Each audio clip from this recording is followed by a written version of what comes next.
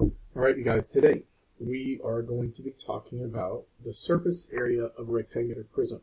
Now keep in mind, in last year's curriculum, we dealt a lot with um, the nets. We uh, learned how we could expand um, or sort of unfold a um, 3D shape into its component 2D shapes, and we would add all of those up and then we would get the surface area. This year, we're going to move on to where we actually have a formula to do that for us. Okay? So, first of all, when it comes to rectangular prisms, we're going to think of this as whatever side is on the bottom. Okay? So this side we know is going to be the bottom. Okay? That is going to be your base area. Now remember, in this particular case, we have this base. Okay? Um, when we're thinking about the lateral area, that's just going to be the sides, like here and in the back, those four sides. And then we have these two bases together, your lateral area and your base area is going to combine to form your um, total surface area. So let's look at a formula that's going to help us figure out our lateral area in this particular case. We're going to take the perimeter of our base okay? Because remember this and this here at the top are going to be the same. So the lateral area uh, of a prism is going to be the perimeter of the, the base times the height of the prism. So if we had dimensions that were assigned here, here, here, and here, okay, and then multiply that by the height, that's going to give us, so let me back that up so I make sure that I'm clear. We're going to take the um, um, dimension here, here, here, and here. Add those up, the perimeter, okay? And multiply that by the height. Now we're going to see how the perimeter is going to work when we get to a cylinder, but that's going to be in a different video. It's going to be something that you already know. Let's look at the triangular prism. We can figure out the perimeter of this base because remember in a triangular prism, it's not going to be that side there, this side here, or the one that's facing us. It's going to be the one here at the top and the one that mirrors it here at the bottom. It is the perimeter of the triangle multiplied by the height of the prism. Okay, now um, I had some questions when we were doing one of our standardized tests. How do we use this? Blah, blah, blah.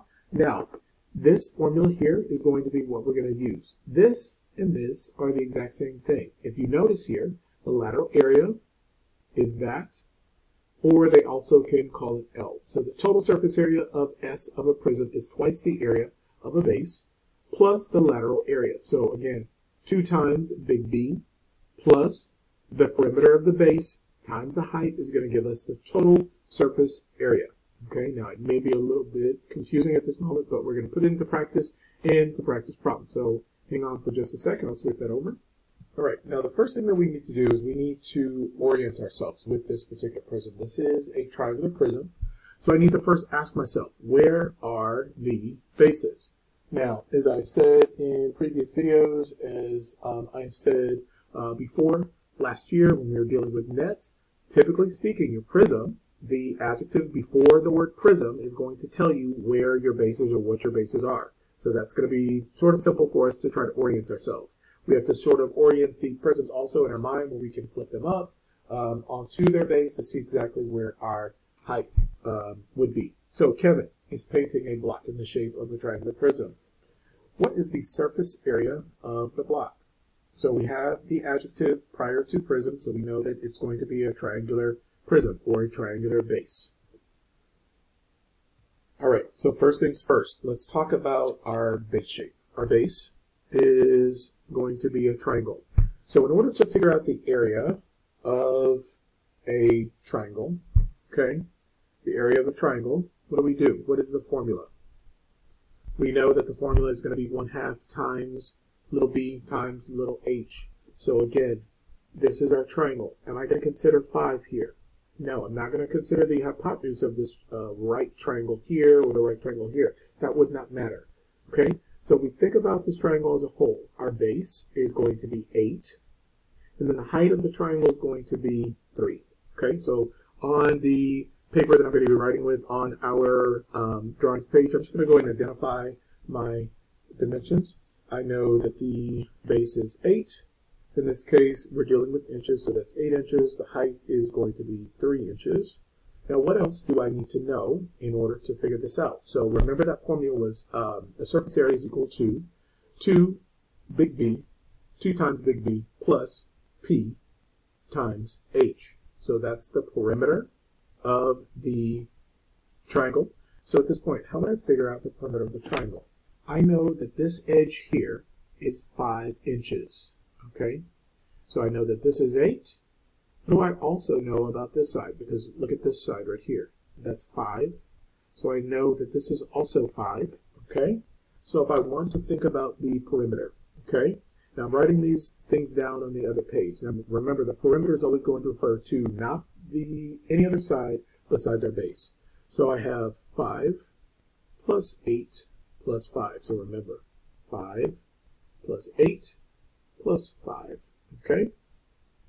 Now, what's the other item that I need to know? I need to know the height of the um, actual prism. So if I were to, in my mind, try to orient this, and what I'm going to do is I'm going to do some magic with this um, with this picture. All right, so I'm going to try to flip this over. Okay, I'm going to flip it. Okay, and I want to flip it so that we can see, and I think I flipped it one too many times. If we think about this sitting on this particular base, what is the height at this point? The height of the prism is actually going to be what dimension? It's going to be 6, okay?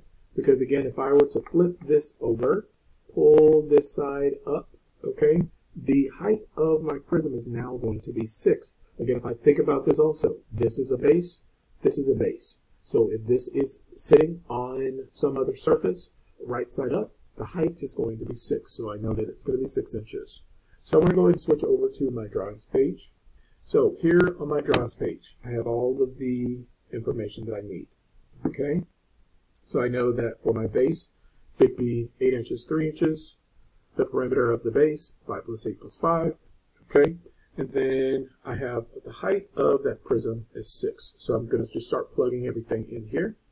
So again, 2 times Area of a triangle, 1 half times 8 times 3. Why am I putting everything over 1? Because it just works better when it's a fraction. Plus my perimeter, 5 plus 8 plus 5 times the um, height of the prism. So let's start simplifying. 2 times 1 times 8, 8, 8 times 3, 24. 2 times 1, 2 times 1, 2. Now, is there more than one way to solve this particular problem or to simplify this? Absolutely. I'm solving it this way because to me it makes more sense. If it makes more sense for you to keep these as whole numbers and multiply by one half, absolutely. Do whatever makes sense. The only key is, is that you have to do what is efficient, meaning that you do it fast, but you also do it quickly. I'm sorry, you do it fast, but you also do it correctly. That is efficiency. So 5 plus 8 13. 13 plus 5 is 18. Multiplying that by 6. So when I simplify this out, this becomes 12. 24 over 2, 12. Okay, put that in parentheses. I'll keep that straight. 18 times 6 is going to give me, when I multiply that out, magic of YouTube, 108. So simplify 24 plus okay, 108 is going to give me 132. I'm going to bring my units back. Now, the surface area, okay? When I deal with area, I deal with what? I deal with inches squared. Inches squared, okay? So that's how you figure that out. Now, could I have done, could I have done a uh, net? Absolutely. Pulled out my two triangles, find the area for those two triangles, pull out those uh, other three lateral faces. They're all rectangles. Figure out all of those. Sure, I could have done that. There is a time and a place for that. Yes, in that time and place is seventh grade. Now that we have that concept down, we can just plug everything into a formula, everything that we need. So, um, as you saw here, I'm looking at lateral area also. Now remember in that formula, the alternate version said S is equal to 2B plus L, L being your lateral area. If the problem just asked for the lateral area, I have my, what? I have the area of my bases, and I have the area of my lateral faces. So if it was asking for lateral area, lateral area would be what? 108 square inches. Base area for both, 24 square inches together. This is my TSA, or total surface area. All right, let's go ahead and move on to our next example. So our next example um, on our drawings page, again, we're going to put down a formula. I'm going to leave space over here for me to do all of sort of like my scratch work, okay? All right, in this case, we are fortunate in that we have a verbal description and we have a picture that goes along with it. This is a very common situation. We've all received a gift. Hopefully, we've all wrapped a gift for somebody else as well. Now, I want you to look at the picture very, very carefully, first of all, because you could get very confused and get to the wrong answer and guarantee on a standardized test or some test that I might give you, I might throw in sort of a tricky one like this. What do we see? We see dimensions of one foot, eight inches, and six inches. Just like in Sesame Street, one of these things does not belong in terms of the units. Notice that one foot is different from the other two dimensions, which are in inches. So what is the first thing that I need to do, or what I do in this particular picture? I'm going to change that one foot to what? Pause the video, think about it for a sec. I'm going to change the one foot to 12 inches. So please be aware that is something that you will have to do because guaranteed they're going to give you the version that has one as one of the dimensions. All right, so let's lay everything out. We want to think about our base area. Now remember your base it, with a rectangular prism is going to be a little tricky. Will you get to this exact same total surface area if you use this as a base or this bottom part as a base? Okay, absolutely, you're going to get to the total surface area. But for the purposes of this example, they're going to use it in the orientation that they have it. Your base area sitting, so for instance, if this was sitting on a table, this is going to be your base area. So we're going to use that as our base area. So for big B, we know that base times height little b times little h will equal to be big B. Okay, so in this case, I'm going to say we're going to assign this as our little b value. Remember, I'm changing that to 12 inches. H, in this case, I'm going to keep as 8 inches.